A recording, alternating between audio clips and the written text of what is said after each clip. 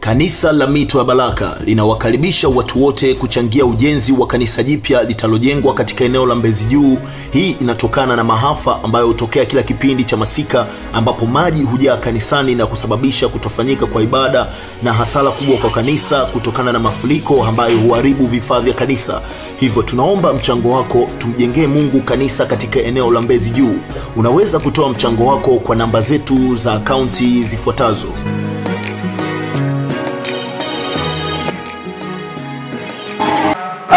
Baraka TV wengine kupitia Masanja TV ambazo zinaangaliwa online kutoka YouTube, na kama ambavyo unajua watu wengi wanatuangalia kutoka mataifa mbalimbali.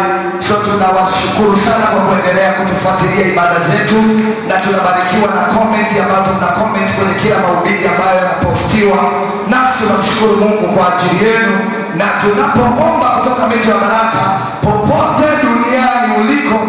Mungu anayetenda mito ya baraka anatenda hata huko uliko.